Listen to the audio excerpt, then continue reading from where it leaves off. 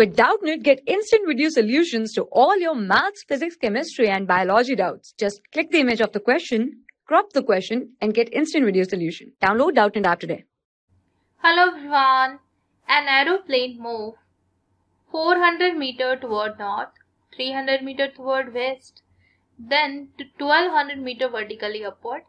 Then its displacement from the initial position is. So if you see, if I take this normal direction as y-axis and uh, east direction as x-axis, like this, and this is east, and vertically upward is z direction. This is the z axis, vertically upward.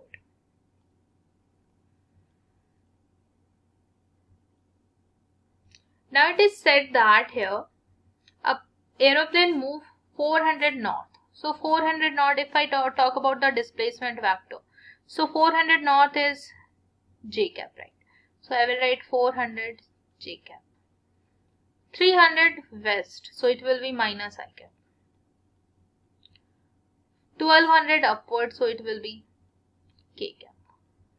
Now you can get the magnitude so I will write s is equals to under root of sx square plus sy square plus s, sz square.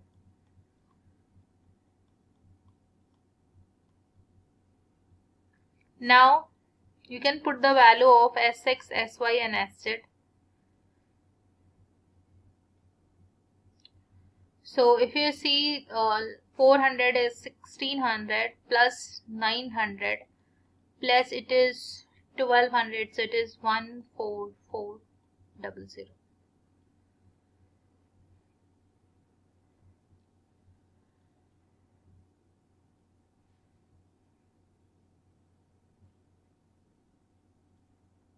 so I will take 100 common here. So it will be equals to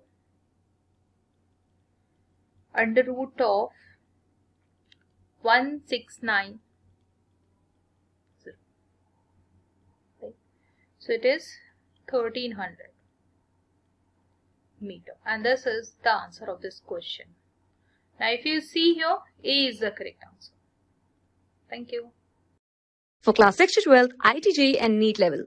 Trusted by more than 5 crore students. Download Doubtnut app today.